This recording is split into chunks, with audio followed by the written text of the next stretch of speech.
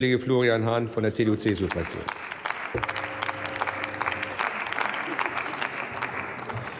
Ja, Herr Präsident, liebe Kolleginnen und Kollegen! Wenn man die Debatte heute verfolgt und die Beiträge von den Linken und den Grünen, dann könnte man meinen, dass die Bundeswehr schicke Kindersoldaten in den Kampf einsetze. Und das ist natürlich größter Unsinn. Und es zeigt aber mal wieder, wie unsachlich die Debatten über die Bundeswehr und von linker und grüner Seite geführt werden. Ich würde Ihnen da mal eine grüne Grundausbildung bei der Bundeswehr anraten, die würde Ihnen ganz gut tun.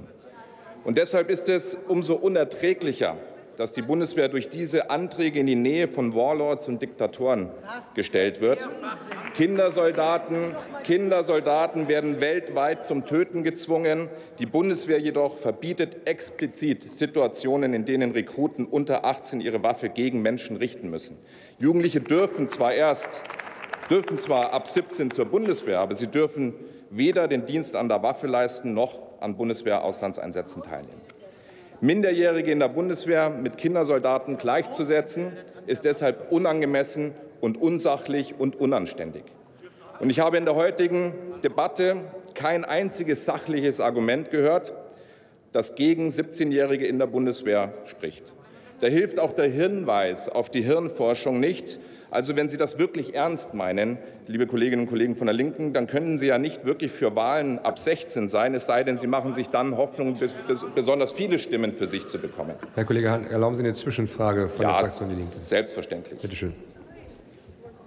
Ah, da kommt der. Ich halte die Zeit auf. Ja. Das war. Vielen, vielen ich davon ausgehe, dass Sie die normalen Umgangsformen beherrschen, gehe ich davon aus, dass die Kollegin zunächst die Frage stellen kann. Ja, vielen Dank, dass Sie die Zwischenfrage zulassen. Ich höre die Debatte jetzt seit Beginn an und beschäftige mich seit vielen Jahren auch kommunal damit. Ich möchte Sie fragen, weil Sie sagen, wir führen die Debatte verantwortungslos. Ähm, im Jugendoffizierbericht vor einigen Jahren gab es auch einen Passus, in dem explizit darüber berichtet wurde, dass den jungen Menschen, die in den Schulen aufgesucht werden und die rekrutiert werden, die zusammenhängenden Komplexe der Kriegshandlungen, der Weltgeschehen noch überhaupt nicht bewusst sind. Der Oberleutnant äh, Klink aus Darmstadt sagt zum Beispiel auch, vielen Freiwilligen ist in diesem jungen Alter nicht bewusst, worauf sie sich einlassen. Aus eigener Erfahrung kennen wir die Probleme sehr junger Soldaten. Oft fehlt für den Dienst die notwendige Reife. Ich möchte Sie dahingehend fragen, werden Sie künftig auch das Wahlalter für Jugendliche zulassen oder zum Beispiel den Führerschein, wenn Sie sagen, für den Wehrdienst sind die jungen Menschen reif genug, aber fürs Wählen oder Autofahren nicht?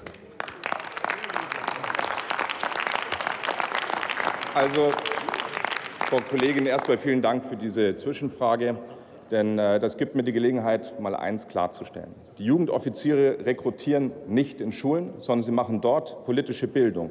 Und die Defizite, die Defizite, die der Oberleutnant, hören Sie zu, und die Defizite, die der Oberleutnant beschreibt, ist ja genau der Grund, warum er dort ist, um eben dort die entsprechende politische Bildung zu leisten. Erstens.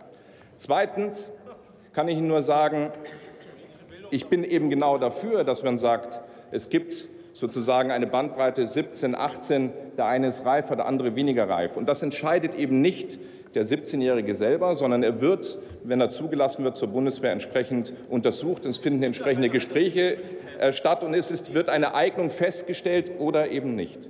Und genauso ist es bei dem Thema mit dem Wählen. Ich bin gegen das Wählen ab 16. Ich glaube, dass das, ähm, dass das zu früh ist. Aber ich bin zum Beispiel beim Thema Führerschein, das Sie angesprochen haben, dafür für die Regelung, die wir haben, nämlich dass man mit 17 den Führerschein machen kann und noch mit dem Erwachsenen mitfahren kann.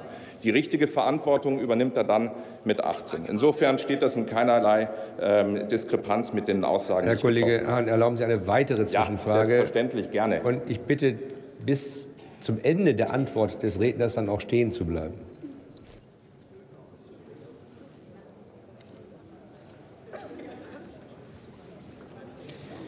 Ja, Herr Kollege, Sie kennen ja wie ich auch die Grundrechtseinschränkungen, die für Soldatinnen und Soldaten gelten.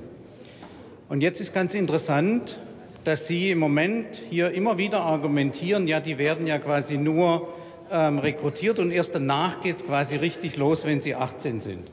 dann ist meine zentrale Frage, warum gelten dann eigentlich diese Grundrechtseinschränkungen dann schon für diejenigen, die vor 18 bei der Bundeswehr sich ähm, rekrutieren lassen haben?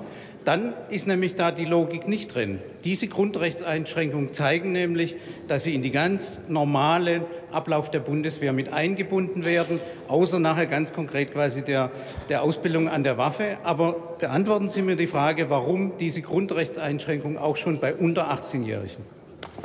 Wissen Sie, was ich beantworte oder nicht, das können Sie erstens mir selber überlassen. Und zweitens zeigt Ihre Argumentation einmal mehr, dass es Ihnen gar nicht um die um die Sache geht, sondern um etwas anderes. Sie wollen die Institution der Bundeswehr insgesamt erschüttern. Deswegen scheuen Sie sich auch nicht davor, diesen Kontext zwischen Kinder, Soldaten und Bundeswehr herzustellen. Und das haben Sie hier einmal mehr bewiesen. Und ich sage Ihnen, das ist genau das, was ich Ihnen, ähm, vor, was ich Ihnen vorhalte, diese Scheinheiligkeit. Und wissen Sie, Herr Pflüger, Sie sind der stellvertretender Parteivorsitzender und verteidigungspolitischer Sprecher der Linken. Sie haben auch mit Frau Buchholz äh, zusammen schon vor ähm, vor einigen Jahren, nämlich in einem Artikel bei der Jungen Welt, die Abschaffung der Bundeswehr an sich gefordert. Und daran zeigt sich, worum es Ihnen eigentlich geht. Sie wollen diese Institution erschüttern, weil Sie die Institution an sich abschaffen wollen. Und genauso ist das bei, den, bei Ihrem Kollegen, dem Herrn Gerke, der das auch hier in dem Plenum gefordert hat, die Abschaffung der Bundeswehr. Und alles andere sehen Sie auch bei den, wissen Sie, auch bei den ähm, ich kann, wie ich Ihre Frage beantworte, können Sie mir überlassen. Ja, ich sage Ihnen, Ihre Argumentation ist scheinheilig, weil Sie ein anderes Ziel verfolgen, als tatsächlich zu diesen, äh, äh sozusagen diesen Sachverhalt mit mir zu diskutieren. Herr Kollege Heinz, Sie haben zutreffend festgestellt, Sie beantworten die Fragen immer so, wie Sie das wollen. Und äh, auch wenn es dem Fragesteller nicht gefällt, das ist dann einfach so. So ist es. So, dieser Antrag ist also wieder ein Versuch, die Bundeswehr in der Öffentlichkeit in ein schlechtes Licht zu rücken immer mit dem Ziel vor Augen, diese eines Tages abzuschaffen. Und das werden wir nicht zulassen. Und äh, wir stehen zur Bundeswehr und zu unseren Soldatinnen und Soldaten.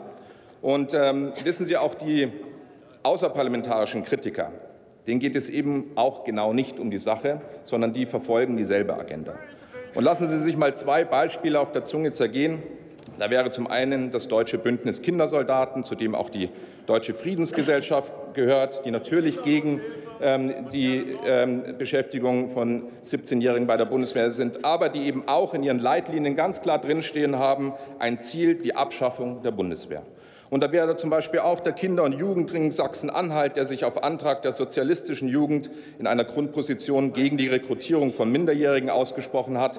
Und Sie werden es, Sie werden es erraten, auch die sozialistische Jugend Deutschlands will die Abschaffung der Bundeswehr.